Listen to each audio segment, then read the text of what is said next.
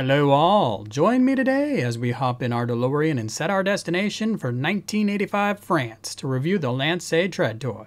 For only 99 francs, you could score this ultra rare gift set containing a Legioss and Tread made by Gakken of Singapore and distributed by Lansay under the Henshin Robo brand. If you were still in 2019, you would have to scour the secondary market for one and you'd expect to pay a lot of money for it. The far better move would be to spend that money on a ton of new toys from Big Bad Toy Store. Click through my campaign link in the comments below to shop for the rarest items of 30 years from now and help this channel out in the process. The box is tall with big windows showing off the goods within. You may be aware that there are even rarer Gakken of Japan versions of the tread, and I apologize if I'm really butchering the Japanese pronunciation of this company's name.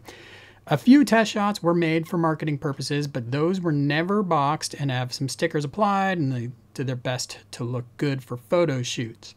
In this video, we're sticking to the ones that you can actually find out there. The Lansay version, which is the same in all respects except this one is stamped Gakken of Singapore. Pulling out the tray, you'll find a Legioss and Tread toy. The Legioss toy has its shoulder sensor and gun attached to sprues. Behind the tray, you'll find French language instructions for how to transform the Legioss and stickers for the Legioss. Some of those stickers would work on the Tread, but out of the three people I've spoken to who actually own one of these things, none had a separate sticker sheet for the Tread. That said, it is possible there are some tread instructions and sticker sheets out there somewhere. While I can't help with the sticker sheet, I will be providing step-by-step -step transformation and Legioss attachment instructions as part of this video. This toy comes with a Legioss. The Legioss has a sensor array and a gun on a sprue. I don't have them out or connected. I'm not going to be talking much about the Legioss. I'll pull it out to show you how it attaches to the tread, but I'll have a separate video for the Legioss and its variants in the future. The tread comes packaged in bomber mode. You're going to want to pop up these gray pieces in the back and pull the wings out. That's all pretty simple to do. Once you do have the toy out, you'll notice these big cavities in the front of the vehicle, and that's going to be to receive that Legioss later. There are no pop-down missile bays here, no pop-up missile bays up top. The landing gear are permanently affixed and out and simplified, but they are able to spin. Obviously, they're not metal with rubber tires. This was kind of a budget toy, so you shouldn't expect too much from it. It is solid, it holds together well. You can whoosh it around in bomber mode, no problem. Even with that connecting boom that can extend or retract, it's good and sturdy, so no issues there. You will notice there is a big toe that comes down on the front of what becomes the leg with a wheel on it. Uh, I'll show you why that is in just a moment. It's obviously not very line art accurate. And the other thing we don't get is the bottom of the leg or the thigh connection down here that you would expect from the line art. So a couple little weaknesses there, but otherwise a sturdy and fun and playable toy. So that's a good place to begin. All right, let's connect the tread to a soldier mode Legioss. When you're ready to attach the Legioss in soldier mode to your tread, you're gonna go ahead and extend the connecting arm out, bring that cockpit down, and bring that little peg adapter upward take your Legioss toy, which has a peg right at the bottom of it, and just slide it into that adapter, that connecting boom. And you'll see you've got the big wheels sticking out right in the front, which is a little awkward. There's also almost no articulation to this Legioss, so there's not a whole lot of fun you can have with it. Uh, let's get that wing where it's supposed to be. So there you go. That would be you handling the toy. This is where you get those big wheels big toes and wheels on the back of the tread. So you can now kind of zoom it around if you wanted to, make it play like a toy. As you can see, not a very good way of doing things. A much better solution, if you really liked this mode, would be to grab a display stand and put the toy on, you know, something like this. Uh, and then you could pretend like you're flying in from space with your tread attached to do some damage not a whole lot you can do, mostly because the Legioss itself is so limited. Otherwise, I guess perfectly acceptable in this mode. I can pick it up. I can, again, swoosh it around, as long as I'm somewhat cognizant of the fact that there are two different toys being loosely held together. All right, let's go ahead and put the Legioss in in fighter mode. Now we're ready to connect the tread in bomber mode with the Legioss in fighter mode. And what we're gonna do there is here's your Legioss mode, our fighter mode toy. It's obviously a disaster. Nothing is collapsing inward, leaves it really far out extended, which is why we ended up with these big holes in the front of the tread. What we wanna do is take this toy and just swing the legs down. Let's make sure those arms are collapsed like so. So we're going to bring those uh, legs down. We're going to take our tread toy, we're going to bring in the connecting boom all the way, and we're going to bring down the head. And then we're going to take our Legioss and just line up those arms with that opening and slide that all the way back. Once we're in, we can fine tune that peg placement by adjusting the angle on the Legioss. So that'll slide right in. And now that's nice and tight.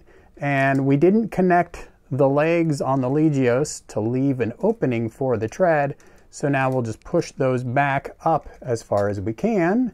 Everything will stay together nice and tight at the peg and slot. And there you go. Now you've got your toy connected in fighter and bomber mode. You can actually swoosh it around. It will stay connected very firmly. You can even put it down on the ground and it'll roll around on those landing gear. All right, let's go ahead and transform the toy to soldier mode. This isn't a toy I transform often or like ever, so bear with me here as we try to go through the steps. We're going to begin by pushing down these gray pieces in the back, and then we want to free up this leg by sliding it back, and there's basically a mushroom underneath this peg that you need to slide through a groove. So let's see if we can do that. And I'm not really thrilled. Okay, so there it goes. It just comes back there. You can see there's that peg that came back. And we can just bring our leg down now, hopefully. There we go. So we're just going to bring that leg down like so. And I'm going to do the same thing with the other leg on the other side.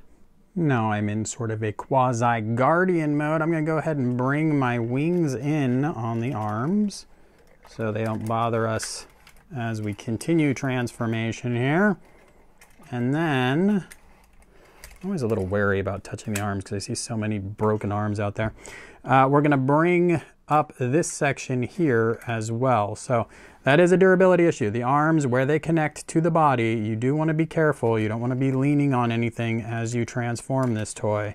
Because like I said, you do see some of these being sold sometimes with the arms broken off. I want to thank Carl Hoff at this step, who previously posted online an instruction guide for how to transform these toys. I'm going to be following his method on this next step of moving this interior hinge down to its lower position. So what you want to do Get this leg as far down as you can. You put a finger in behind to support the hinge, and then you press forward and bring the whole hinge assembly down. And as you come down, let's see if I can get this on here, there is a stopper back there. So as you bring the hinge, so we continue to come down with it, and I'm kind of rotating the legs as I come down, you're going to hit that stopper right there and that's as far as you want to go. And there you go. Now you've got your legs in soldier mode position. Just a couple steps left now. We're going to bring the cockpit down. We can bring these guys out like so. And then we got to rotate the arms and you can see I've already done one of them. Mm, they are incredibly stiff and this is a very scary proposition here but I'm to hold on tight, bringing it. Now you have to rotate the arm very specifically in the direction you just saw me do it. If you try going in the opposite direction, you may very well break the toy. So there you go. Now you've got your toy in soldier mode. We got a little bit of fine tuning to do re related to the legs, but otherwise that's it. I think this next step is kind of up to you and what you prefer since we don't have either instructions or pictures on the box of what the final tread soldier or batloid mode should look like. I've got two gaps on either knee. As long as they're symmetrical, I don't think it really matters. Uh, but you could also kind of lean the legs forward a little bit. So these legs, if you lift up, they will slide down on you. And then you can get a little forward lean to them and have no gap at all. So that's another option. And then you would just rotate the upper body and you would have your toy with no gaps, no head, no elbows, no hands, very little articulation to this toy. And that swing bar in the middle, as you can see, doesn't do the best job of propping the chest up. So that's unfortunate. What's even more unfortunate is really it's that 172 Legioss toy's legs that don't compact at all that mandated this giant gap right here in the tread. And even this swing bar, which made the hips get higher up, which isn't really line art accurate, just so there could be more clearance for that Legioss toy. So that Legioss toy being so poor had a negative impact on the tread as well. Now the tread does have that integrated connecting rod, which means you don't have the ability to fold the butt down because that rod is coming all the way through here. So then you end up with this giant butt in the back. From an articulation standpoint, really all we're talking about is the ability to bring the arms forward. So I can bring the arms all the way forward. Let's keep that down. So I can bring this all the way forward so the fist is pointing forward, the non-existent fist, but if it were there, it'd be pointing forward. And then obviously I gotta bring it all the way back so it's in bomber mode again. Don't try to angle the arm upward. Seems like that's the danger zone for this toy and you don't want to break it. Now, from an articulation standpoint, we can rotate the leg and really that's what you're talking about. You're gonna be able to get some skating looking poses if you want to do something dynamic. The legs themselves, they can bend forward, but not so much back because that connection is going to hit the thigh and ruin your fun in a hurry. So there you go. Not a very fun toy to handle in soldier mode, much like the Legioss toy it pairs with. It's an 80s toy, but don't expect die-cast metal. This toy is all plastic and very light. It's a super rare toy, and it's cool for what it is, and it's definitely better than Legioss it came with, but it doesn't compete with the larger, modern toys with integrated missile bays, plug-in landing gear, and better articulation. Tracking one of these down in good condition can be very hard and expensive, so this one is for licensed unicorn hunters only. If you enjoyed the video, go ahead and hit that like button and make sure you're subscribed. Check out anymoon.com for the full article, and thanks for watching.